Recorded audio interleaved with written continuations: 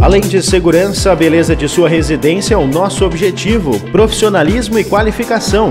Pequenos e grandes projetos são nossa especialidade. Serralheria Janoski, ligue agora 519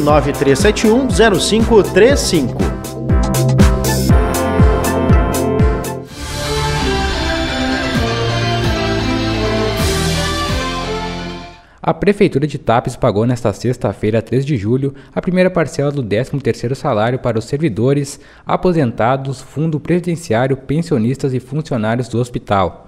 Conforme informado pela Secretaria Municipal da Fazenda, com o pagamento estará sendo injetado uma quantia superior a meio milhão de reais na economia tapense.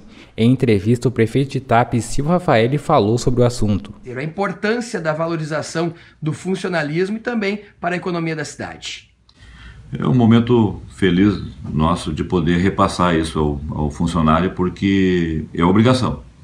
Antes de tudo, também valorizar o nosso comércio, o valente comércio que sobrevive né, numa época de crise muito grande e que passa crise, entra crise, sai crise e o nosso comércio está firme.